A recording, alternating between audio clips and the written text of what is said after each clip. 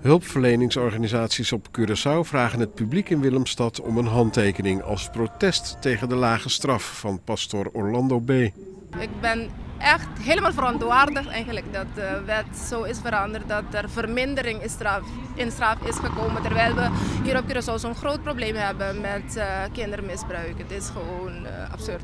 En dit is een schande dat die man zomaar, uh, ja, in plaats van 19 jaar, wat krijgt hij? 9 jaar? Dat kan niet. En dat komt omdat de politiek vrijwel ongemerkt de straffen verlaagd heeft.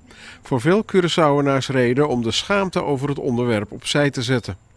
Kent u gevallen van mishandeling, misbruik? Ja, ja? en heel dichtbij. Jammer genoeg. Maar een hoop. Er is nog een, voor mij een hele taboe erover, denk ik.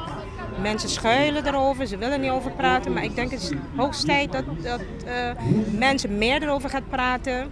En dat is wat er ook gebeurde. Een debat met pijnlijke getuigenissen tot diep in de avond. Nog nooit eerder vertoond op Curaçao. Ja, qual um homem grande alagami, mexe com sua parte íntimo e chupa seu penas. Mi tá chiquito, mi tá inocente. Bom, que men ende no mijn papi, maar net mucho su falta. Curaçao debatteert in Hartje Willemstad over seksueel misbruik en seksueel geweld tegen kinderen. En de nationale televisie is erbij. Een groot taboe hier, normaal wordt daar niet over gesproken. De trieste zaak van Orlando B.